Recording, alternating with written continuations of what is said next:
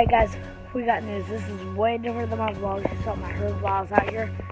So if you don't know, if you're not here, if you're here, let me try that over. I'm not gonna edit it because this is kind of urgent, but um, if you don't really understand what YouTube or anything, you don't really have to watch this video, honestly.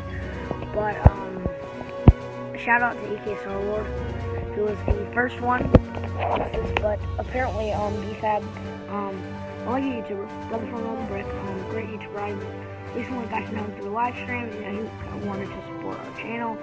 Um, I would like to just watch our videos, which meant a lot because he had like 4,000 subscribers. Um, apparently he posted on the community tab that he was shutting down, so, um, I don't know what that's about, but, um, I kind of just want to make a video on it because if you are a weather YouTuber, you know this guy is a good YouTuber. He gets all the news out. Honestly, I look at my YouTube tabs and he's the first one that has all the news out. So, um, it's kind of a video. He's a great YouTuber. I don't know. I'm kind of just repeating what EK Star Wars said. He just, in some way, thinks we need to support BFAB. We don't know why he's going out of business. We might know more later, but that's all we know. It might not even happen. This is kind of just a video I wanted to make because we kind of need stuff.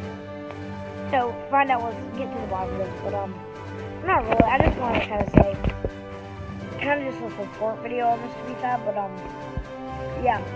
Thank you guys for watching, like, subscribe if you're new here, and comment down below, and say anything you have to say, or just say something hi, ask a question.